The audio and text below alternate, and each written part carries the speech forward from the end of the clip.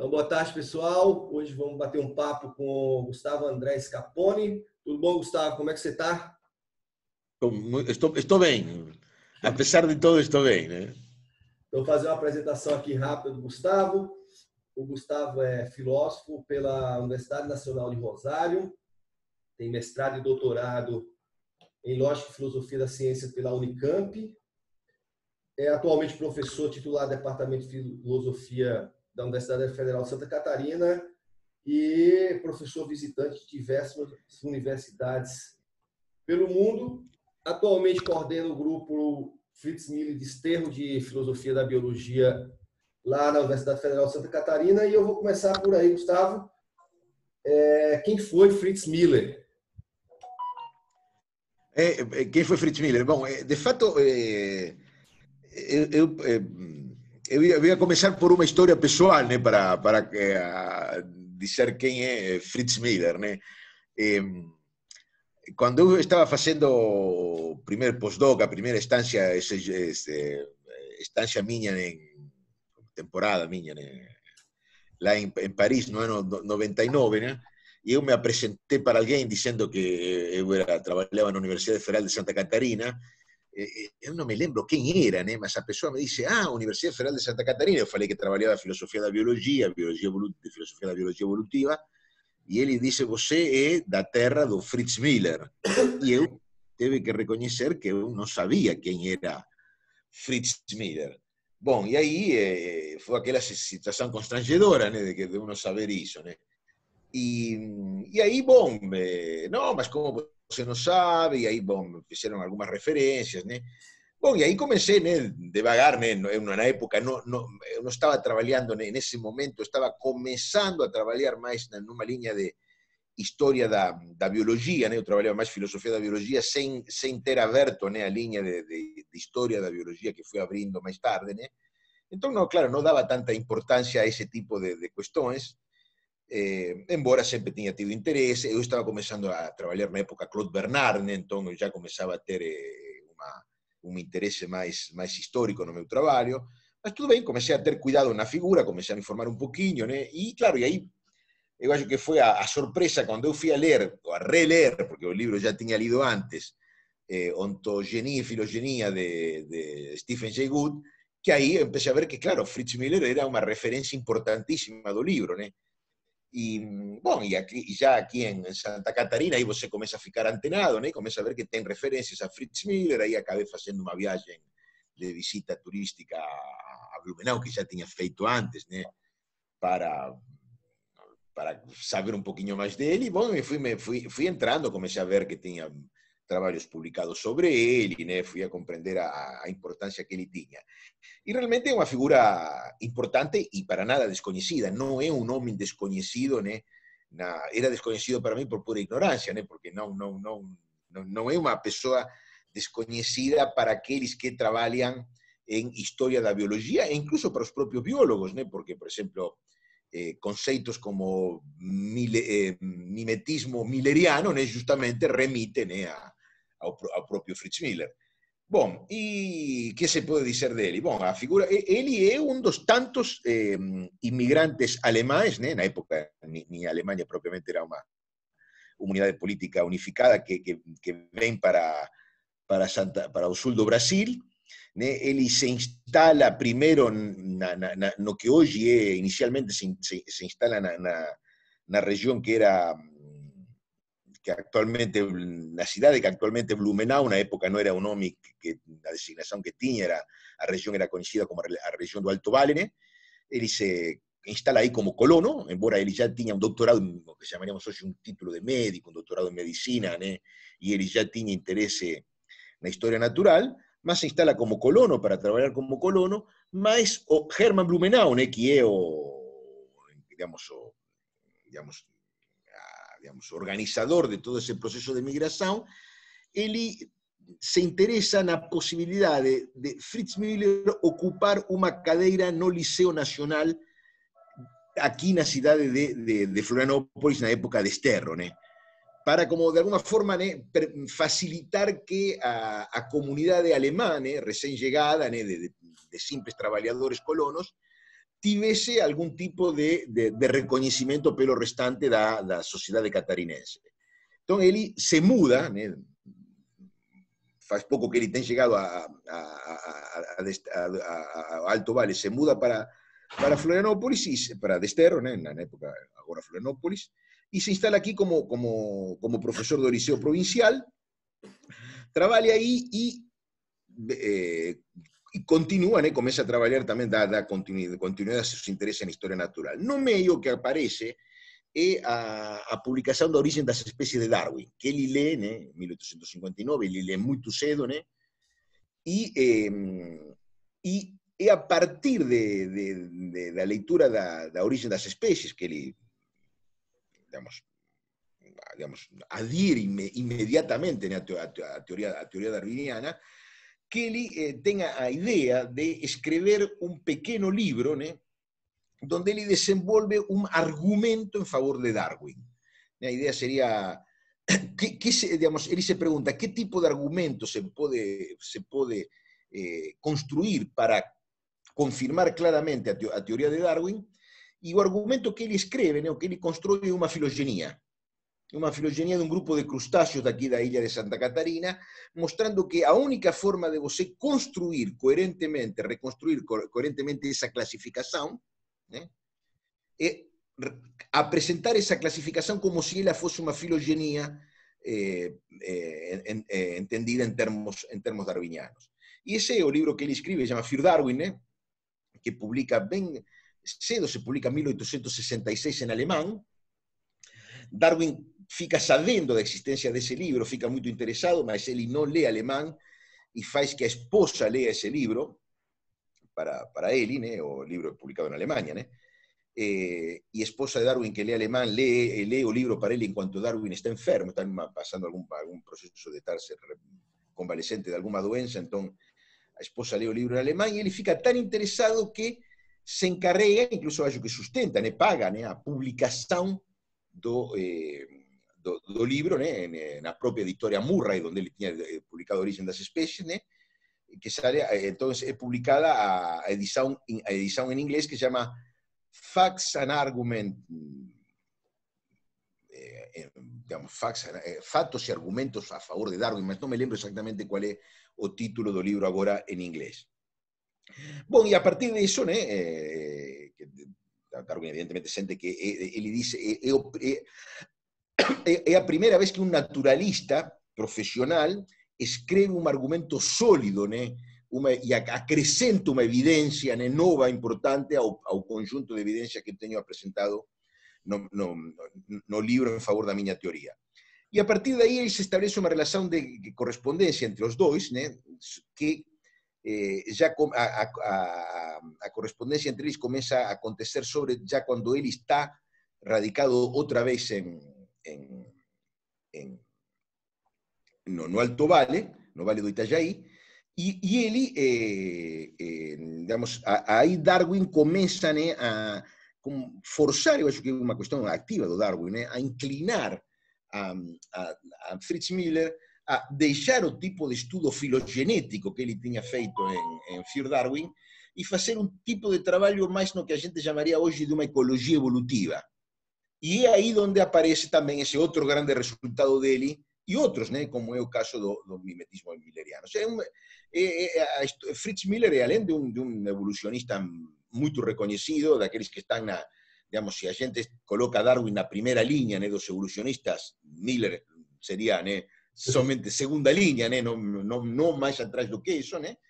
Eh, e, e além do mais dele ser um muito importante, ele é um darwinista ou um evolucionista completo, porque ele trabalha no que seriam as duas linhas nas quais se desenvolve o programa darwinista no século XIX, que são é o que eu gosto de chamar o programa filogenético, né, a reconstrução de filogenias, que é o que ele faz em, em Fear Darwin, no primeiro livro, e depois há o tipo de trabalho mais no que a gente chamaria o programa adaptacionista, que é o que ele faz em, eh,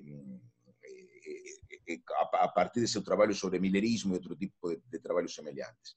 E bom, e ele, e um, a ser também é, naturalista, é considerado um naturalista viajante do, do do, do, do, Nacional de Rio de Janeiro, né? ele tem um reconhecimento nacional e internacional, una obra muy publicada y, por ejemplo, un, dato interesante para, ver la importancia de él, aquella famosa ley biogenética fundamental que enuncia Ernst Haeckel, ontogenia recapitula a filogenia, o propio Haeckel reconoce que él tira esa ley de, eh, de, eh, libro de, de, Miller Darwin, diciendo, eh, digamos, en la lectura de ese, ese trabajo de, de, Miller que llegué a formulación de esa ley filogenética fundamental, la ontogenia recapitula filogenia, claro, con palabras, ¿ne?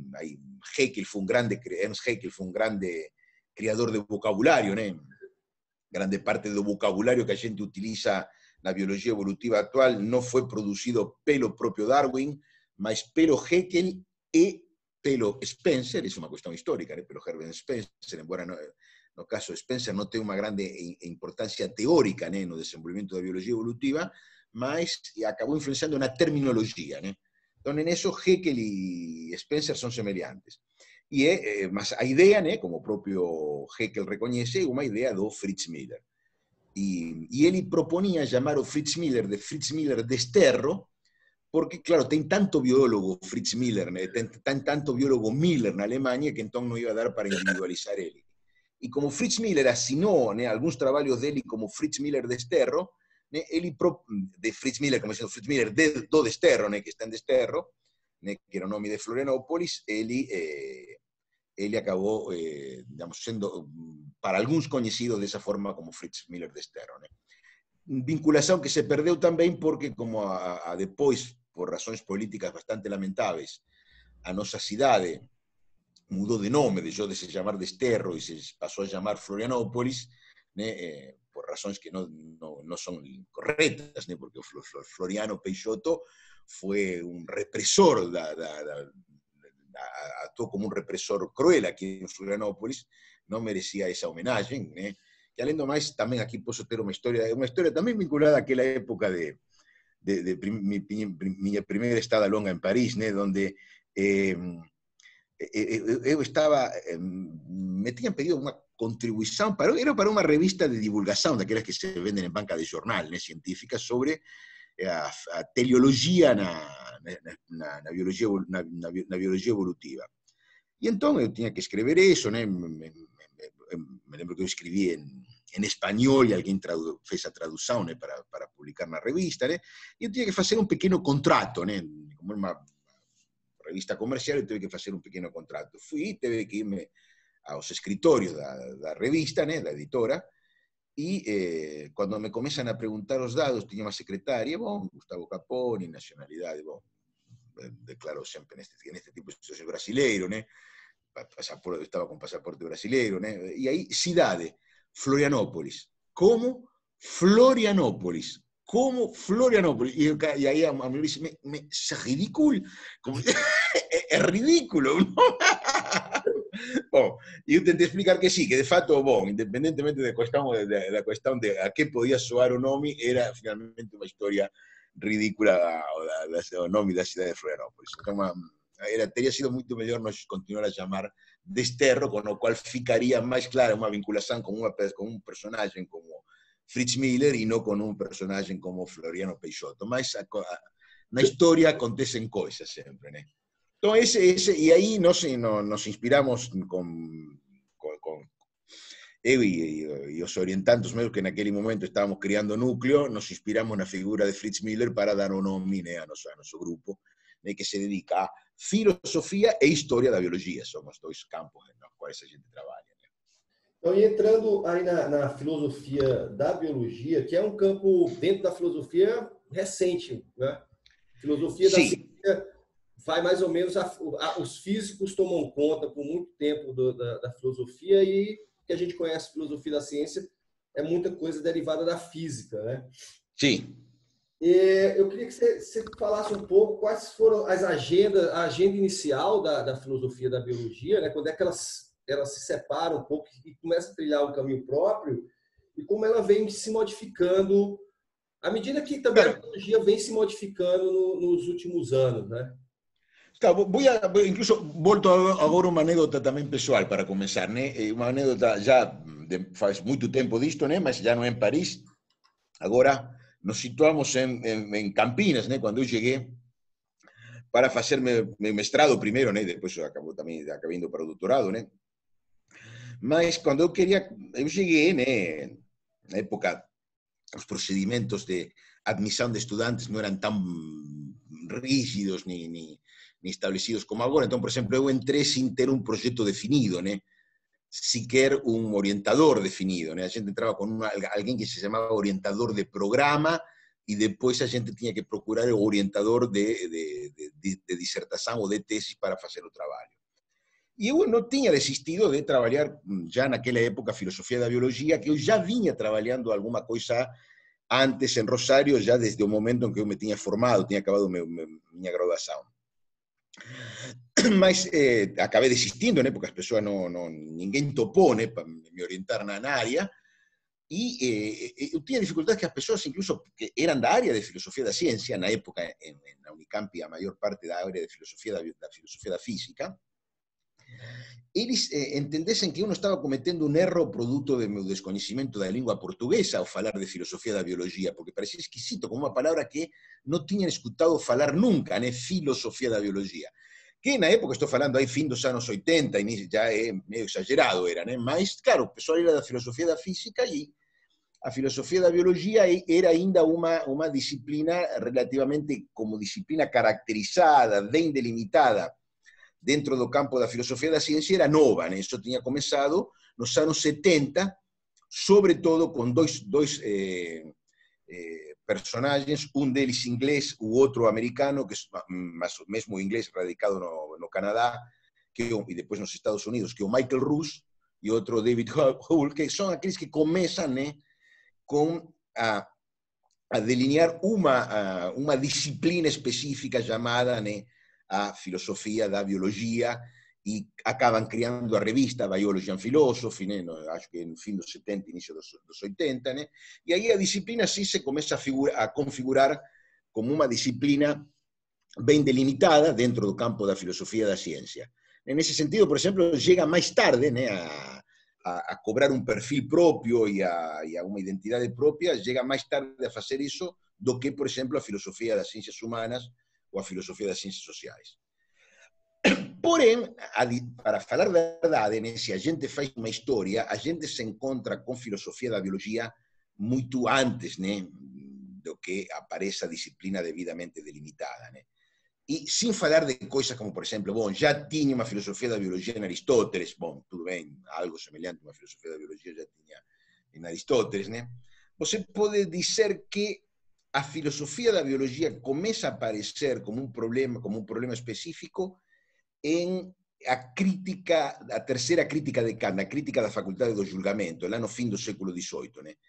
E é interessante porque eh, eh, Kant começa a colocar os primeiros problemas da, da filosofia da biologia né, em um momento em que a, a, a, a digamos, nem sequer existe a palavra biologia, existe a palavra história natural, em todo caso se pode falar de história natural dos seres organizados, né, e eh, ainda, digamos, é é um saber eh, relativamente pouco constituído, né? sem referências teóricas claras a partir das quais, das quais trabalhar, com o qual se faz difícil fazer filosofia da ciência, uma reflexão epistemológica ou de teoria do conhecimento a partir desse tipo de, de, de um saber que este, esteja nesse estado tão inicial de desenvolvimento mas Kant consigue colocar algunos problemas importantes que, que, van a ser, que van a acompañar a filosofía de la biología en todo su desenvolvimiento, como es, por ejemplo, o problema da explicación teleológica. Ya aparece né, eh, colocado na, na, na, crítica da faculdade do julgamento, e também outro problema que é fundamental para, para o desenvolvimento posterior da biologia, né, que é o problema de se é possível uma história da natureza o cómo es que sería posible una historia de la naturaleza. Una cosa es historia natural, vamos a decir, que en la época era entendida como descripción y clasificación de, las producciones naturales, y otra sería la idea de que esa, esa naturaleza tenga una historia que puede ser reconstruida. Esa era una idea que no era tan fácil de aceitar, o propio Kant no acaba aceitando eso como algo realmente posible, más lo menos coloca o problema.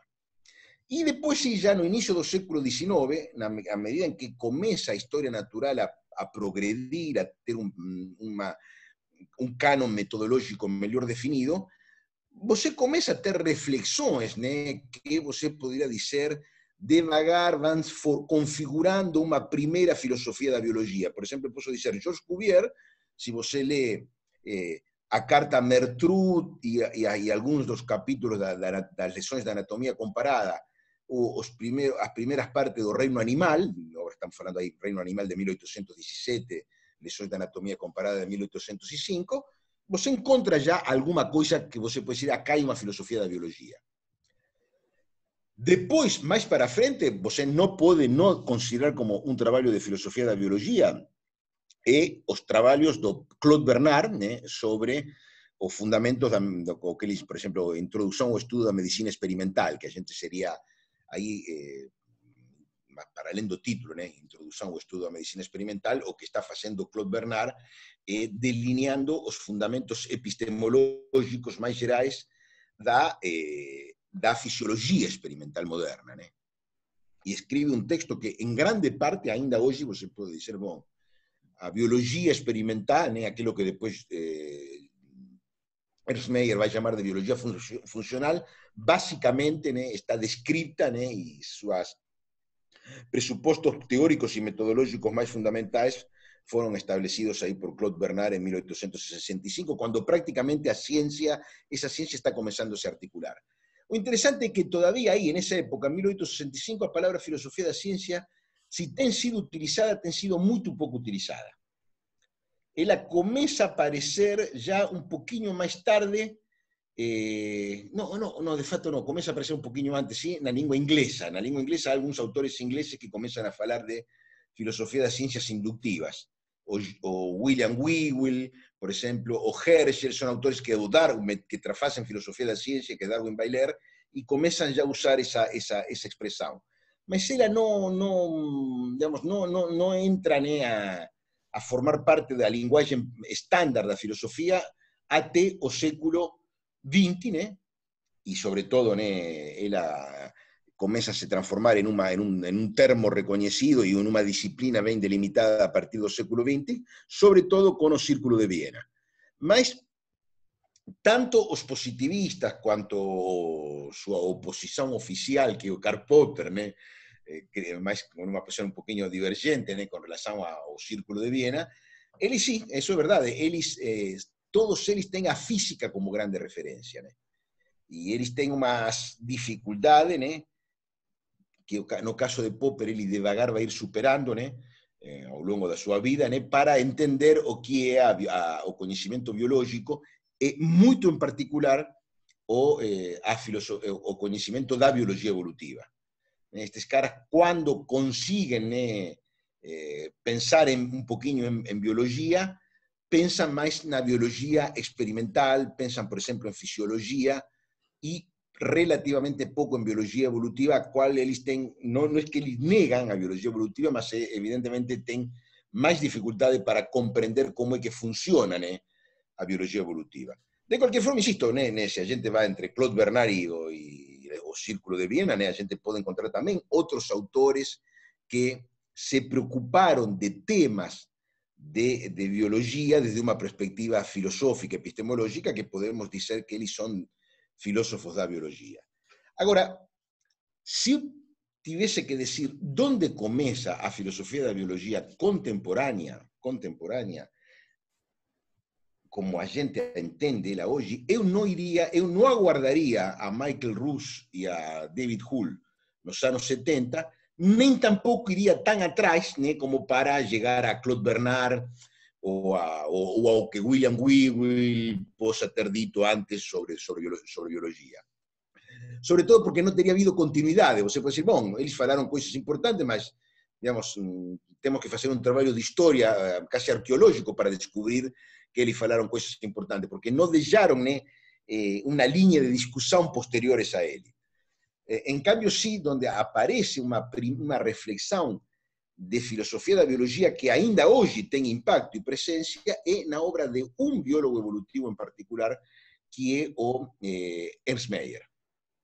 se eu tivesse que dizer qual é o texto fundador da filosofia da biologia contemporânea, eu escolheria um, que é, é, é um artigo publicado na revista Nature em 1961, muito famoso, breve, que se chama Causa e Efeito em Biologia. Esse, esse, esse texto, para mim, é, é, é, o texto fundacional da filosofia da biologia, da, da biologia contemporânea. E eu diria que aí estão, sim, colocados de forma muito apertada todo o que vai ser o desenvolvimento posterior da disciplina, pelo menos até os anos 80, 80 e 90, onde já te começa a ter uma renovação e, um, e uma mudança importante na, na, na, agenda da disciplina. Então, digamos assim, formalmente a palavra se impõe nos fins dos anos eh, 70 tem uma longa pré-história, né? mas eu diria que se tem que escolher um, um momento dessa longa pré-história como, como realmente o, o momento inicial né? da, da, filosofia da biologia contemporânea, eu eh, escolheria o próprio Meyer. Né? Um biólogo de primeira linha, né? um biólogo evolutivo de primeira linha, um dos arquitetos da nova síntese, mas também né? um, um grande filósofo da biologia. Como é que, que, que, a, partir, a partir dos 90 a gente tem a, a, a genômica começa a crescer? Sim. A gente sai um pouco dessa. Aliás, na década, inclusive esse artigo do, do, do Maí já é uma resposta a, ao, ao surgimento da biologia molecular, né? Ao desenvolvimento da biologia molecular, que ganha uma força muito grande a partir das, da década de 90, né? Sim. E aí, como é que, que a, a, a filosofia da biologia começa a tratar esse novo tema, esse novo mundo molecular? Mudou, mudaram as perguntas ou mudaram simplesmente as explicações? É, é, é, é, assim, digamos, é, acontece que, digamos, se você vê o texto de Meyer, e, e, não somente o texto de Meyer, sino outros textos que são escritos na mesma época, um pouquinho posterior, né? Por exemplo, são dois livros escritos no fim dos anos 60 por dos biólogos moleculares franceses que son François Jacob y Jacques Monod. Un é a lógica do ser vivo e o outro de, de François Jacob e o libro de, de, de Jacques Monod, O acaso e a necessidade.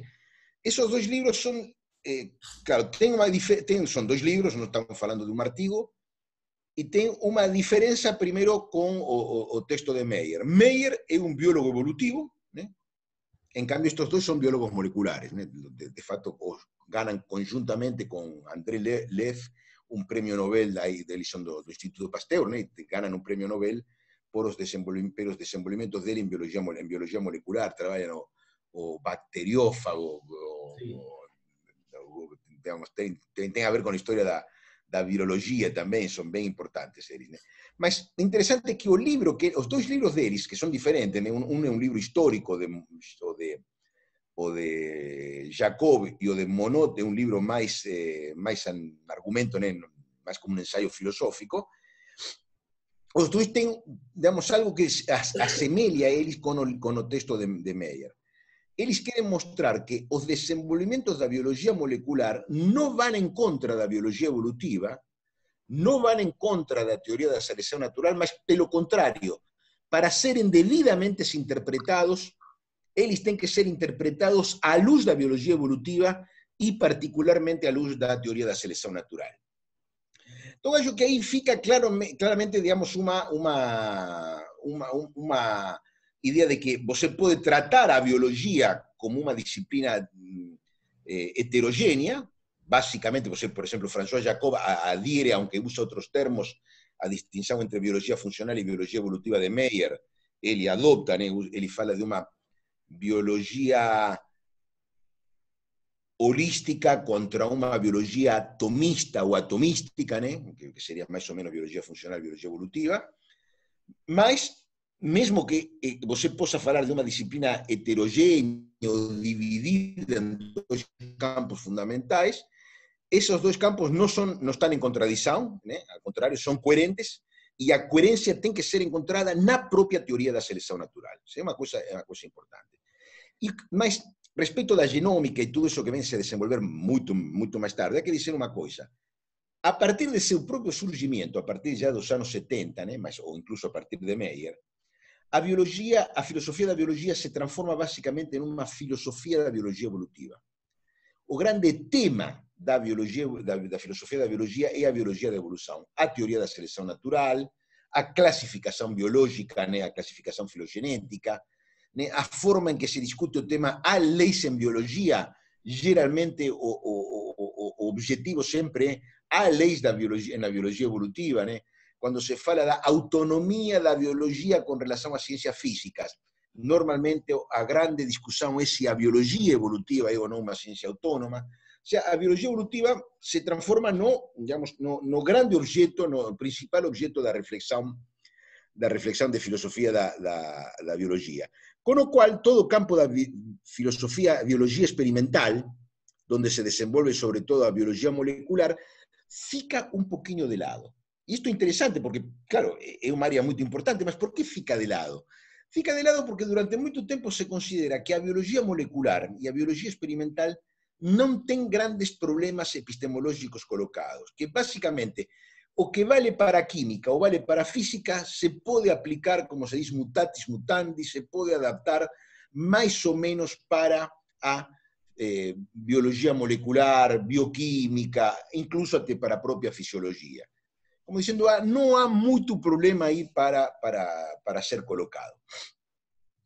Eh, esa, esa, incluso é a posición típica de Ernst. Né? Ernst Mayr claramente defende sempre esa, esa posición, como que a, a, a temática quente, né? o, o, o, os grandes problemas da filosofia da biologia sempre vão estar do lado da, da, da biologia evolutiva, porque ela é realmente uma novidade epistemológica, uma ciência diferente. A biologia experimental é mais ou menos cabe dentro do que aquilo que já foi falado para a química ou para a física, caberia também para a, a biologia experimental. Que eu acho que não é verdade, não é verdade, isso é, é, é um erro, né?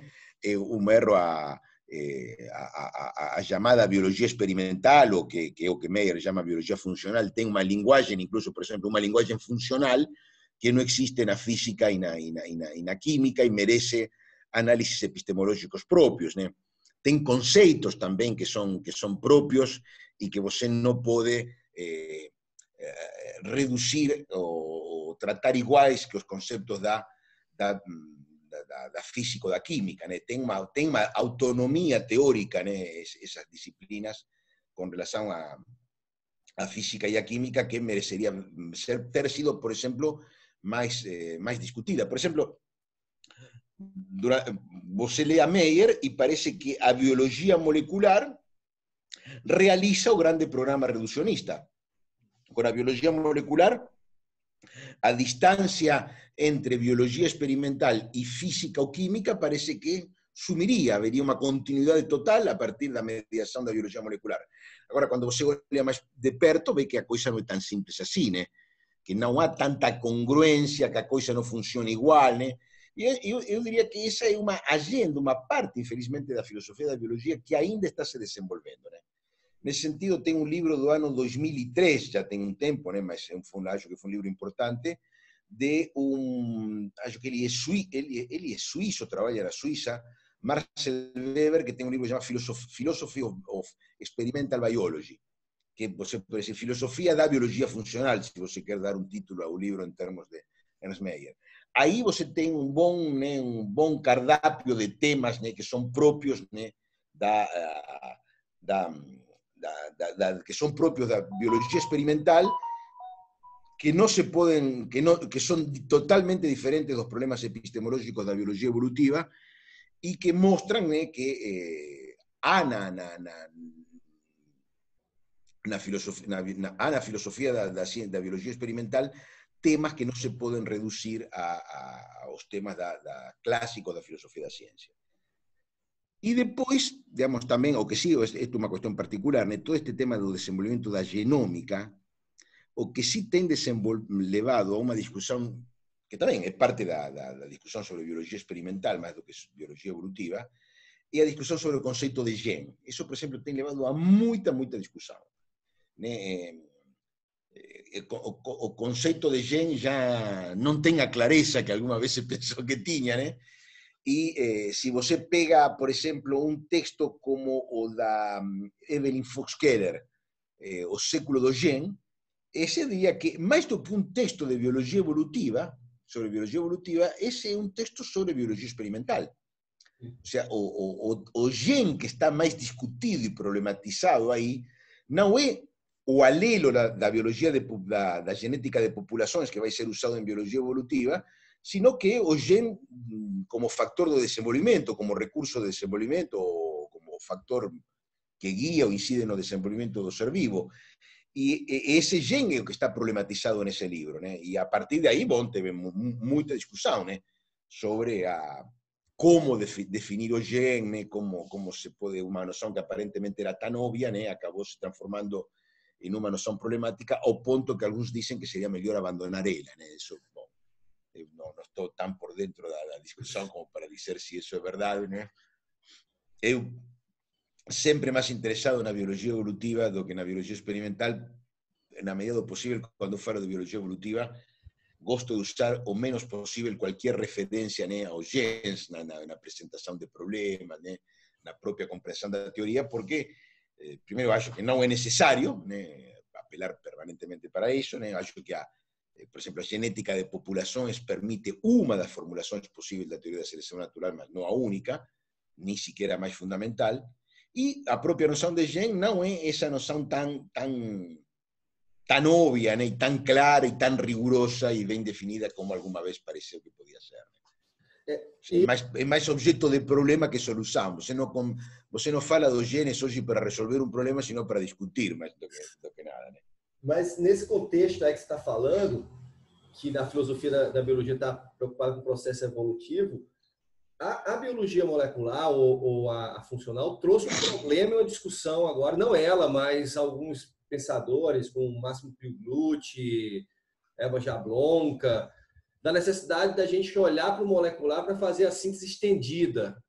Ah, sim, aí sim, eh, claro. Eh, No, por ejemplo, ahí, eh, que tenga a ver un poquito con toda esta crisis de noción de gen, eh, tenía, tenía eh, esto, eh, tenía este, como ese, un filósofo, biólogo, Jason, Jason Scott Robert, que, Jason Scott Robert, no me, no me lembro agora o nome dele, mas li recentemente un texto dele, donde ele dice una cosa que achei bastante boa, Até un momento, dice Eli, me parecía que a evolución era cambio na secuencia de genes, na frecuencia dos genes en una población, y o desenvolvimento era simplemente expresión de genes. Estaba todo claro, ese sería, a, a, a, evolución era representada como cambio, mudanzas na, na frecuencia de genes, que sería a, expresión de Dosomsky, ¿no?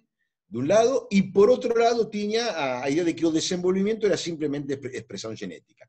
Claro, eso entró en crisis, el libro de, de, de, Evelyn Fox Keller que citaba antes, es un síntoma de esa crisis. Y ahora entonces lo que aparece, junto con toda esta temática de síntesis extendida, la cual voy a decir así, verdad, yo no soy tan, tan amigo así, yo no soy tan, tan, tan... Eh, no las, tesis que puntualmente se presentan, sino do pacote, a forma en que se presenta o pacote total, eu non teño grande simpatía, mas aí está aparecendo esa idea da Eva Jablonka e de outros da, da eh, eh, eh, ampliada da hereditariedade, herencia ampliada, que eu acho que eh, ten moito exagero aí. Né? Eu, eh, aliás, eu, o, o traballo que estou facendo neste momento é sobre eso, exactamente sobre eso. Né? Eu estou trabalhando, aunque não, o argumento não é igual, né? tenho alguma, alguma diferença na argumentação, né?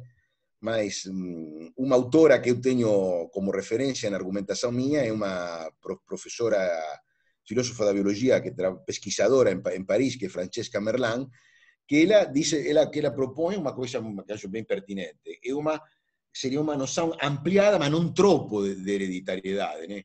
Donde você dice, na, na, transmissão hereditária, você tem mais do que tra, tra, eh, transmissão de sequências de ADN. Né? Você tem outras coisas que são transmitidas, né? de geração para geração, que você pode considerar como geração, eh, transmissão hereditária. Mas nem toda transmissão de recursos ontogenéticos ou de developmental resources, né, recursos desenvolvimentais, que acontece de geração para geração pode ser considerado hereditariedade. Por exemplo, que eu fale eh, espanhol, isso depende, ou castelhano, né? isso depende de, de, de, de meus pais, né? Uma transmissão, né? Você pode dizer, uma transmissão de uma língua que se transmite de geração para geração. Que, aliás, e essa transmissão de uma, de uma língua, de um idioma, é incluso uma transmissão ontogeneticamente muito importante, porque se não houvesse um idioma disponível, eu não poderia desenvolver a capacidade de fala. A capacidade de fala, você pode dizer, é uma capacidade que está em uma habilidade de falar, é uma habilidade que você, de alguma forma, você pode dizer, simplificando as coisas, sem entrar em muita discussão, que ela está geneticamente condicionada, possibilitada, está associada a, a, a certos genes que são transmitidos né, da forma clássica via a, o vínculo reprodutivo. Agora, esos genes que permiten o desenvolvimento da habilidade de, de, de, de, falar no se podrían manifestar, no se podrían expresar, para decir expresar, usar expresión clásica, ¿né? si no fuese porque existe un idioma. para que eu possa aprender a falar, precisa haber un conjunto de interacciones sociales a partir das quais eu possa começar a falar. E essas interações simbólicas não existiriam sem o idioma. Então, a transmissão do idioma é algo ontogeneticamente muito relevante para o desenvolvimento de certas qualidades ou, ou, tipo de características fenotípicas. Porém, eu acho que é um erro considerar que isso também seja, tenha que ser considerado como hereditariedade. Eu diria que, y en esto ven, fechando ven con esta, con esta autora francesa, Francesca Merlán, yo diría que precisamos de un concepto de, de, de, de hereditariedade amplo do que aquele clásico de Jean, mas bastante mais restringido do que aquele que, eh, eh, fa, do qual, que, que propõe a Eva Jablonka com seus quatro canais de transmissão hereditária. Eu diria que, se eu teria que dar uma definição, né, eu diria que o que debe ser contado como transmisión hereditaria son a, a, transmisión de aquellos recursos genéticos que pasan do, do sistema que se reproduz ao resultado dessa reprodução vía o propio vínculo reproductivo. Esto, claro, precisa de una definición más clara, né? sería agora longo, longo facer, né? dar uma definição mais complexa disso, né? mas tem que haver um vínculo material particular que é o vínculo reprodutivo. E a partir de aí que você pode falar de, de hereditariedade. Lógico, o que você sabe é que para explicar o desenvolvimento, a hereditariedade não alcança. Há outros recursos ontogenéticos que também são muito importantes. E veja, veja bem que eu não digo que são menos nem secundários. Há outros recursos genéticos que são também importantes, sem os quais esses recursos ontogenéticos hereditários não poderiam produzir nada. Mas eu acho que para todos nos comprendermos melhor para falar e não, e não, e não dañar de forma desnecessária e muito e, e, contraproducente os recursos conceituais e a terminologia biológica, eu reservaria o conceito de hereditariedade para essa transmissão de recursos ontogenéticos ou de desenvolvimentais que acontece através do vínculo reprodutivo e estritamente através do vínculo reprodutivo. É, eu, o restante, eu, eu, eu, o restante eu não gosto, eu acho que não, não, não, não se gana nada chamando isso de hereditariedade, porque não se gana nada em termos explicativos. Parece que se está dizendo alguma coisa nova, mas não se está dizendo nenhuma coisa nova, simplesmente se pega um termo que já existia e se usa para descrever fenómenos que já eram conhecidos. E isso, digamos, não, não, isso, isso não, não, não acrescenta nada, pelo contrário, nos quita a possibilidade de distinguir coisas que antes podíamos distinguir mais claramente, né? É, eu, eu, quando comecei a ler isso, eu fiquei meio tentado a, a concordar com essa síntese estendida, mas como, como, você falou, à medida que você vai lendo, você vai vendo que são coisas que já estavam ditas. Claro, de, de, claro porque, de, depois, porque você introduz primeiro, depois generaliza o conceito de, de hereditariedade e depois tem que começar a fazer disquisições que já existiam antes. Então, não muda muito. E sabe qual é o problema, por exemplo? E, e, e não é à toa, por exemplo, para, para uma teoria tão importante como é a teoria da seleção natural, veja bem que teoria importante para a biologia, você precisa do conceito de variação hereditária. O conceito de variação hereditária é um conceito importante. E se você aceita a ideia de eh, herência ampliada, o conceito de variação, de, de variação hereditária praticamente é informulável. Então, você precisa de uma noção restringida, não da clássica dos genes, mas você precisa de uma noção restringida de, de, de, de hereditariedade, por exemplo, digo, vinculada a, a, esta idea de vincular a, a, a reprodução, acho que uma, uma boa ideia, basicamente a solução está aí, para poder dar uma construir uma definição de variação hereditária que seja adequada às necessidades da própria teoria da seleção natural. Então, por isso digo, não, não é, digamos, fazer supostos avanços conceituais por simplesmente mudanças terminológicas, eu acho que é um pouquinho desonesto e acaba sendo sempre contraproducente, porque a, a terminologia não existe à toa. Existe porque sirve para algo, e se você vai mudar, tem que ter certeza de que ele esteja atrapalhando. E eu não vejo que falar de hereditariedade, por exemplo, distinguir entre o que seria transmissão cultural ou transmissão de esquemas comportamentais via a, a, eh, eh, que eso seja, manter a diferença que isso existe com a transmissão de recursos ontogenéticos via a, a, via da reprodução, acho que são, são diferenças que são boas de ser, de ser preservadas e que estavam claras, e de pronto deixaram de ficar claras. E não, eu não, não vejo porquê, né? Claro, lógico, depois fica muito espaço para discutir, por exemplo, o que se chama em sentido restringido eh, epi, eh, herencia epigenética, É lógico, aí já, aí claro, digamos, quando você diz, bom, não, nem todos são, eh, homogêneos, né? não, não, digamos, o que se transmite de, de, de, na reprodução não são somente eh, ácidos nucleicos, né? não são os únicos recursos ontogenéticos que se tra, tra, transmitem na, na, na, reprodução, claro, começa a haver espaço para outras coisas, né? E isso, mas isso, aí já é questão empírica, né? digamos, que, que, que, que son esas outras coisas que também merecem ser tratadas como hereditariedade, né? É, aí já é... Por isso, eu, aí, aí tem, acho que tem que afrear um pouquinho com este negócio da hereditariedade. Bom, tudo bem, ampliemos, mas com algum critério para ampliar. Sim. E um critério para ampliar vai introduzir sempre algum tipo de restrição. Por isso tem que ser amplo, mas não tropo, né? com, com, com, com, com, com algum tipo de limitação. Gustavo, já estamos indo para o final aqui desse papo. Sim. E aí eu vou deixar uma última pergunta que a gente está nessa pandemia inédita, né? e evidentemente novas questões vão se abrir para a filosofia da biologia agora.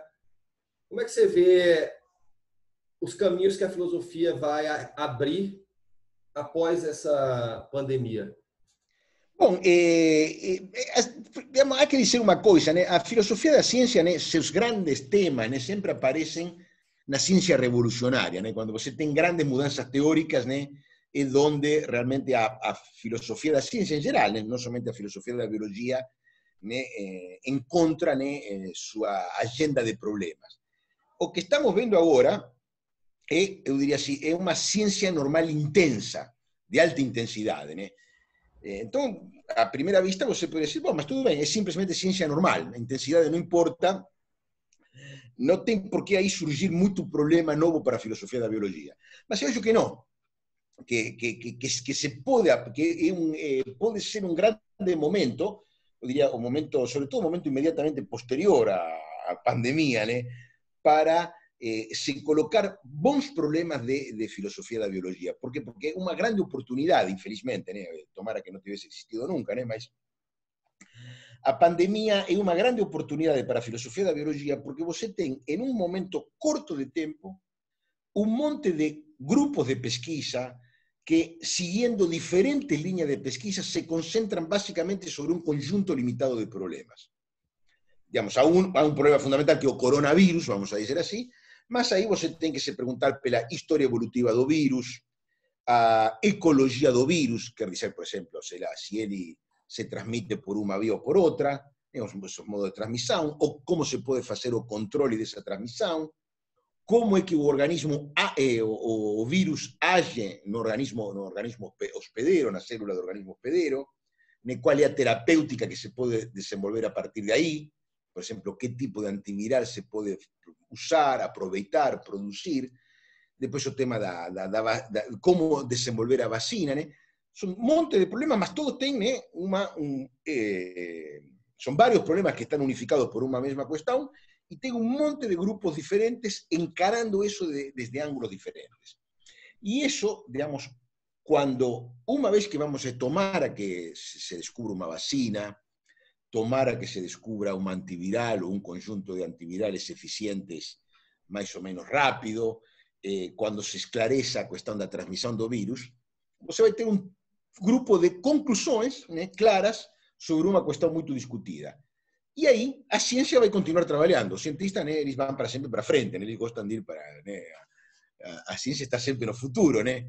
Mas ahí sí puede ser un bom momento para a filosofía da biología, né, uma reflexión epistemológica, hacer un trabajo sobre aquello que se acaba de hacer. Y se pueden colocar muchas preguntas eh, interesantes a partir de ahí. Por ejemplo, você va a poder preguntar en un momento de todas esas líneas de pesquisa, propuestas de pesquisa que en un momento fueron sugeridas, fueron presentadas, cuáles realmente vingaron y cuáles no. O si você quiser una palabra, você se puede preguntar de todo esto que se está propondo ahora, ¿qué va a acabar siendo progresivo y qué cosa va a no ser progresiva? ¿Qué cosa nos va a llevar no camino da descoberta y qué cosa nos está llevando no camino errado? Agora a gente não vai saber, justamente porque isso, se a gente soubesse, já teria chegado lá. Né? Mas, e uma vez que a gente chegue, a gente já sabe como é a ciência. A reflexão científica vai trabalhar a partir daí. Não vai ir a, não vai ir a ver para trás né? por que erraram aqueles que erraram e por que acertaram aqueles que acertaram. Mas a esse é o trabalho da filosofia da ciência. Se pode aprender muito a partir daí. Né? Qué, digamos, qué forma de colocar los problemas resultaron positivas y qué no. Y qué no. Eso va a ser algo, un grande tema de una, para una historia epistemológica la biología recente que va a ser muy, muy interesante de ser feita. Y también se pueden colocar otros problemas interesantes, pues ya ven, eh, eh, por ejemplo, las discusiones que está teniendo ahora. ¿Cuánto ellas tienen de discusión teórica realmente? ¿Y cuánto ellas tienen de conflictos de intereses económicos de pesquisadores que cada uno tiene su tecnología experimental, su tradición de pesquisa y quiere mostrar que ella es la que realmente va a elevar pelo camino de descoberta la vacuna, o antivirus, da vacina, o antiviral, etc.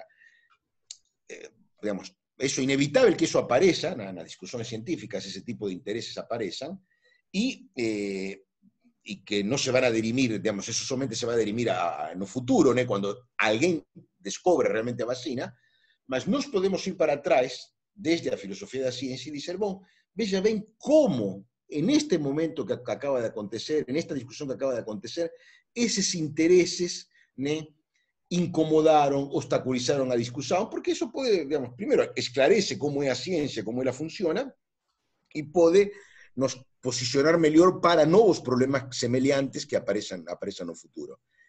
También, por ejemplo, con las discusiones que tiene ahora, por ejemplo, como estrategias colectivas perante o virus. Por ejemplo, teve aquella primera estrategia se, se situada, centrada en eh, aquella que los ingleses en un momento parecía que iban a encarar, que Boris Johnson tenía gustado. ¿no? Bom, de eh, ¿Cómo? Inmunización de rebaño. Inmunización de rebaño. Bueno, hay una pregunta que no nos podemos hacer desde una historia epistemológica de la ciencia reciente, va a ser, esa propuesta estaba bien fundamentada, tenía alguna boa razón por detrás de ella o obedecía solamente a un interés económico, de no parar a economía. Todo ese, todo ese trabajo que va a sobrar para aquel que faz filosofía de la biología en los próximos años. É um trabalho certamente é, muito interessante. Né? E há outras coisas também que se pode fazer. Né? Ah, legal. O trabalho não vai faltar nesse tempo. Não, não, não, com certeza não, porque, insisto, é uma é triste, né, o contexto que todo, porque está, as pessoas estão morrendo, né, isso é, e está tendo um, um impacto na economia terrível, mas em termos de oportunidades para reflexão, em termos de filosofia da ciência, é muito, pode ser muito interessante. Ah, legal. Porque, tem um organizador que é o vírus e a partir daí tem muita discussão e, e seguindo essa discussão a gente pode aprender muito sobre como a ciência funciona. Né? Bom, muito bom, Gustavo. Muito obrigado pelo seu tempo. Gente Não, pelo contrário. O tempo às vezes sobra um pouquinho nestes dias, né? Então, é bom conversar com você e tomara que para as pessoas que escutem seja de algum interesse. Né? Ah, com certeza vai ser. Obrigadão, se cuida aí. Você também se cuida muito e todo o pessoal que escute também que se cuide muito, né? Tchauzinho.